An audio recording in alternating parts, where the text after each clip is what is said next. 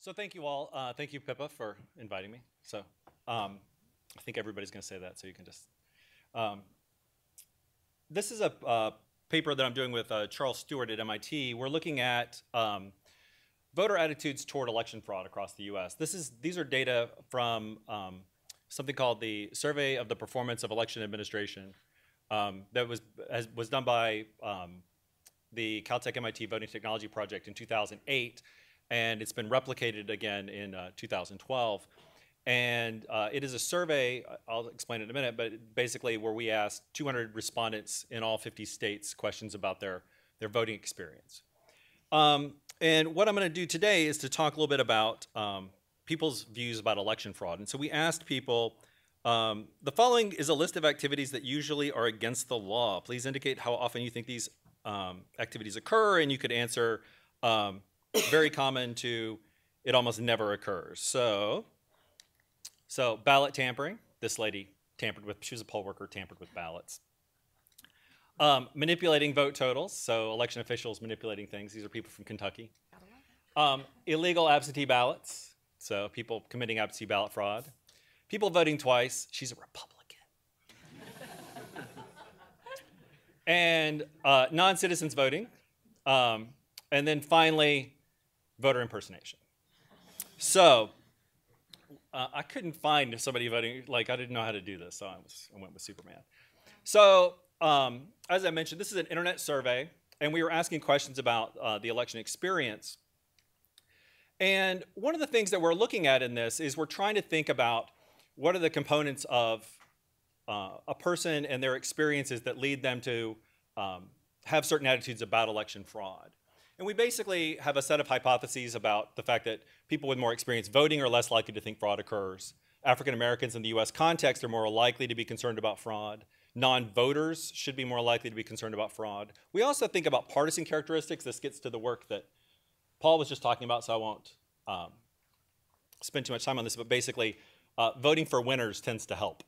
Um, and Republicans are just a little fraud crazy, um, which we can talk about more later. Um, the, the point that I think builds upon what, what Paul was saying is that voters do, um, there's a lot of research that we've done using these data about voting experiences, and these are things that election officials can control.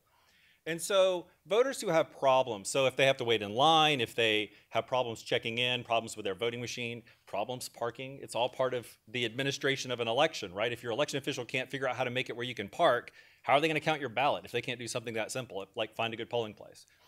Um, we look at the interaction that voters have with their poll workers. It turns out that the quality of the interaction you have with your poll worker is very important.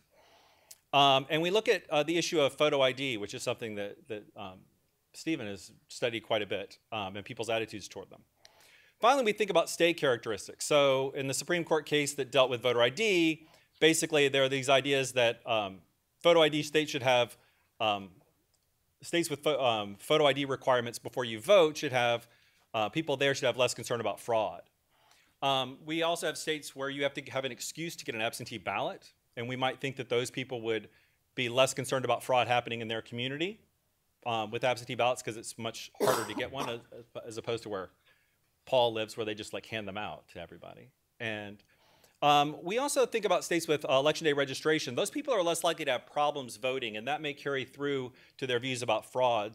And then, of course, um, in America, where we have states with large Latino populations, we may think that people are very concerned about in-person fraud um, occurring. Um, and so I do this analysis in three different ways. I look at all respondents, then I kick out the non-voters and just look at voters, and then I kick out absentee voters and just look at people who voted in person. So that way I can look at their uh, experience with voting.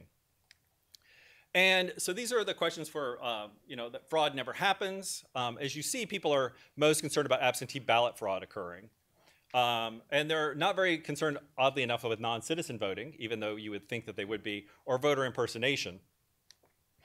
Uh, and for the things that fraud is, people think that fraud is common, it's, you know, basically lots of people think that non-citizens are voting. Um, if we look at the results for all respondents. We find that people who are voters are less likely to think that fraud occurs, not surprisingly. Um, one of the key things here is that um, we do see that there are issues with um, African Americans. States with high Latino populations are more likely to think fraud occurs. If we look at voters, this builds on what Paul was just saying. Absentee voters have higher concerns about fraud, but then you can look at these questions with about the politics. If you're a Romney voter, uh, depending on the question, you're between 8 and 26 percent percentage points more likely uh, than an Obama voter to think that fraud occurred.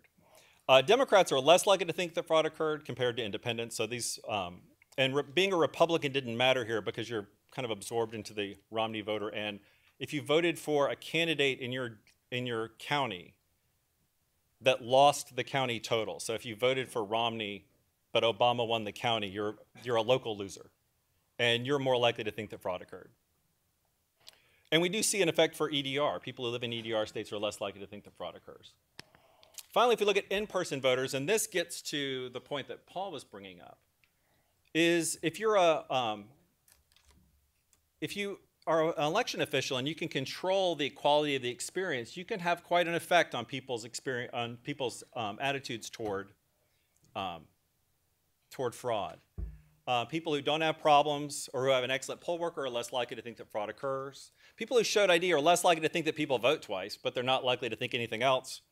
It doesn't affect any of the other questions. Um, and again, uh, voting for Romney or voting for a, uh, or your candidate losing are very important.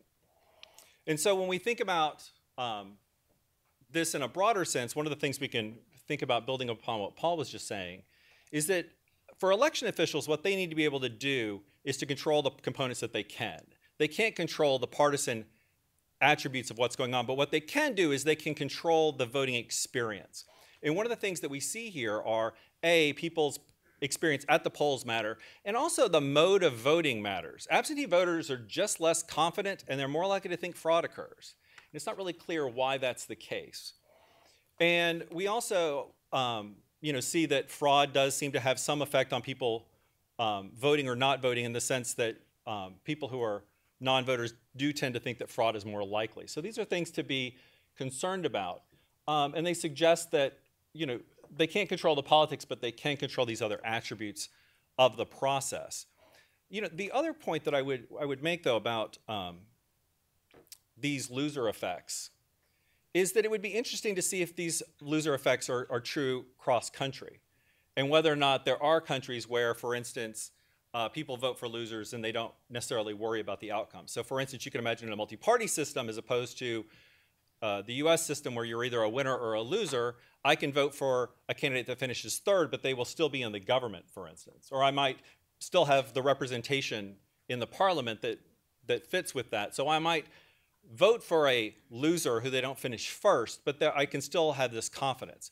And this is an example um, where Pippa's point about cross-national comparisons is, you know, Paul's point notwithstanding that we do have 50 units here, um, we do need variation across other things like the type of, of voting we see. So for instance, in the Estonian case, which I'm familiar with because I study internet voting, you know, we don't see the same sort of confidence problems among losers in general survey data that we're seeing here.